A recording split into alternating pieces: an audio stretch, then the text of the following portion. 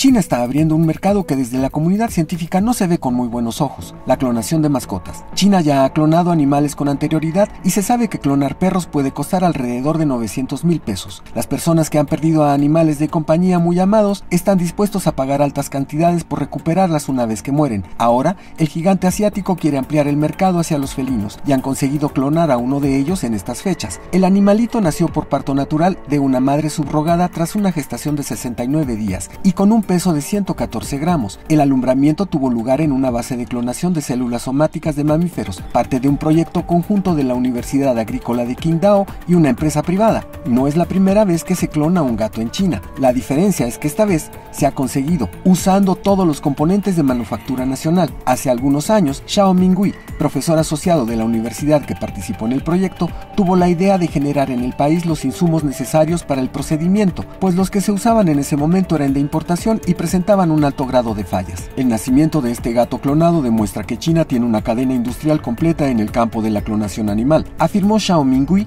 a un medio local. La pérdida de una mascota es muy dolorosa pues implica muchos años de relación y hay quien está dispuesto a pagar lo que sea por recuperar al amigo una vez que esté fallecido. El costo por la clonación de un perro ronda los 915 mil pesos y con el logro de este gato clonado se estima que se cobre alrededor de 600 mil por los felinos. Este logro no solo apoya la industria nacional sino que también reduce los costos, por lo que los beneficios económicos crecen atractivamente. Esto ha generado la crítica de varios científicos que ven en este asunto una motivación comercial y no de investigación para el desarrollo de la ciencia. Con este avance, China se ubica como generador de una tecnología que no carece de polémicas, pues en 2019 el científico chino He Yankui afirmó haber logrado crear bebés humanos resistentes al virus de la inmunodeficiencia humana, por lo que después de un escándalo en la comunidad científica, las autoridades chinas llevaron a cabo una investigación, tras la cual se le condenó a tres años de prisión. Salió libre en 2022. ¿Tú pagarías por tener una mascota clonada? Te leemos en los comentarios.